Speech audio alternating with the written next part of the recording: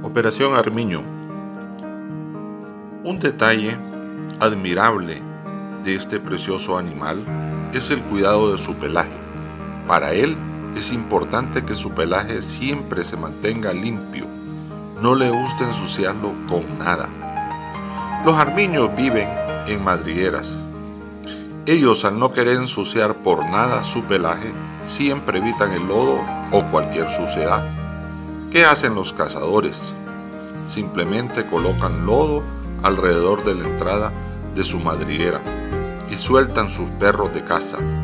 Cuando el armiño huye a su madriguera, perseguido por los feroces perros, el armiño está en una encrucijada. O se ensucia con el lodo y entra a la madriguera para salvar su vida, o se enfrenta a los perros, lo cual es una muerte segura.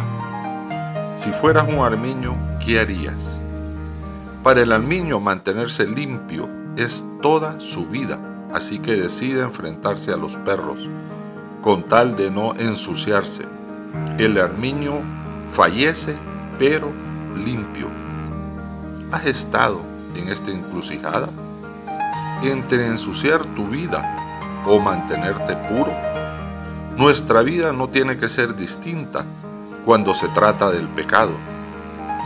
Deberíamos de preferir morir puros a vivir en la inmundicia. Pregunto, ¿estaríamos dispuestos a enfrentarnos a los perros de casa con tal de no manchar nuestra vida con el pecado?